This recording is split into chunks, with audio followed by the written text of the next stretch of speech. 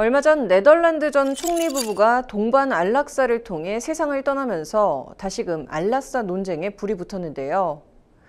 생명의 존엄성과 고귀함을 이유로 안락사를 반대하는 의견도 있지만 인간이 고귀하고 존엄하게 죽음을 맞을 권리를 주장하며 찬성하는 의견들도 많아지고 있습니다. 관련해서 자세한 소식 신예린 기자가 전합니다.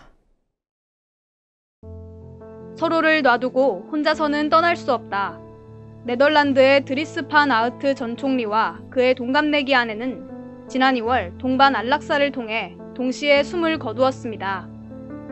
이들의 소식이 전해지며 다시금 수면 위로 떠오른 안락사 논쟁. 안락사란 고치기 어려운 질병을 앓는 환자의 고통을 덜어주기 위한 목적으로 환자 본인 혹은 가족의 동의하에 인위적으로 생명을 단축하는 행위를 말합니다. 안락사는 크게 환자의 요청에 따라 의료진이 직접 약물을 투입하는 적극적 안락사와 환자나 가족의 요청에 따라 생명 유지에 필수적인 약물 투여 등을 중단함으로써 죽음에 이르게 하는 소극적 안락사로 분류됩니다. 최근 자주 언급되는 존엄사는 이 소극적 안락사와 동일한 의미로 쓰이는 경우가 많습니다. 이 밖에 의료진이 약물을 투약하는 대신에 처방만 내리고 환자가 스스로 약물을 투여하는 조력 사망, 즉 조력 존엄사도 있습니다. 존엄사나 안락사에 관한 찬반 논쟁은 하루 이틀 일이 아닙니다. 안락사를 반대하는 이들은 생명의 존엄성과 고귀함, 제도화 시 범죄 악용 가능성 등을 이유로 들고 있습니다. 반면 인간이 존엄하고 고귀한 죽음을 맞을 권리를 주장하며 찬성하는 이들도 점차 많아지는 추세입니다. 어릴 적 우리 동네에 지천에 피었던 해당화 요새 보기 힘들어졌다네. 하지만 올해 다시 피겠지. 내 젊음은 돌아오지 않아도 해당화는 다시 피겠지. 노쇠하고 질병에 걸려 자신의 의지대로 움직이지 않는 몸.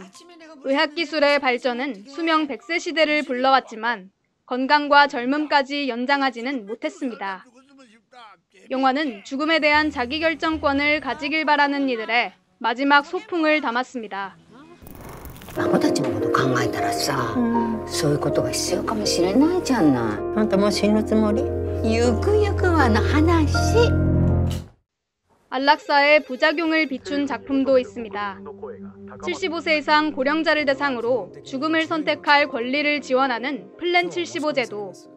국가가 안락사를 독려한다는 파격적인 소재로 눈길을 끈 영화는 안락사가 자칫 현대판 고려장이 될 수도 있다는 점을 꼬집습니다. 경제적으로 취약하고 돌봄에서 소외된 이들은 안락사를 선택하도록 떠밀려지는 것이 아니냐는 우려입니다. 생명의 존엄성을 경시하는 행위일까? 인간의 존엄한 죽음을 위한 권리일까?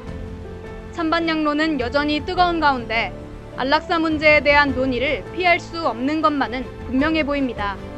법률방송 신예림입니다.